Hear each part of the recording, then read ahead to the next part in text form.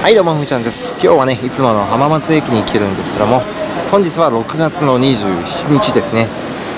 えー、明日からね、大阪の方で G20 サミット、各国の首脳がね、えー、日本に集まって、えー、会議をいたしますね。非常に大きなね、え政治イベントが、え大阪で開かれます。えそれに伴いましてね、え本日から、え4日間ですね、日曜日まで、え大阪でね、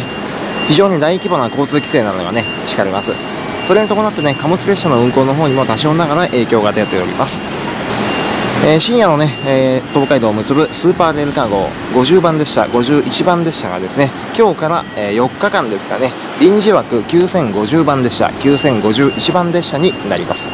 えそしてね、普段深夜の時間帯をね、東海道を出走するんですけども、なんと今日からね、4日間は日中の時間帯をね、通過するということで、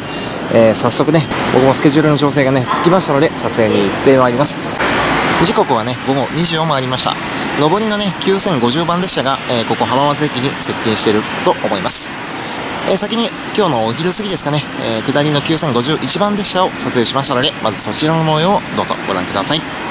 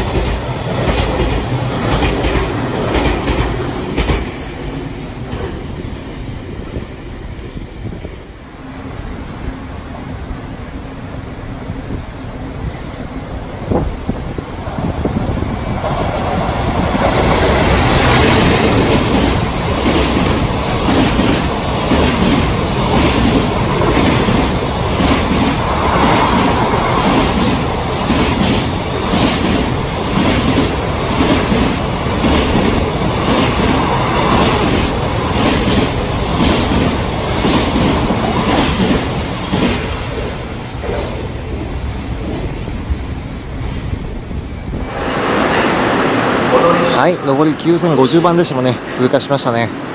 このスーパーレールカーをね、この明るい時間帯に見られることはね、めったにありません。しかも遅れない列車としても有名ですからね。この4日間を有効活用してね、ぜひ撮影できる機会がございましたら、皆さんも明日からも3日間まだあります。ぜひ撮影してください。はい、ではこの動画はね、以上といたします。ご視聴ありがとうございました。次回の動画もよろしくお願いします。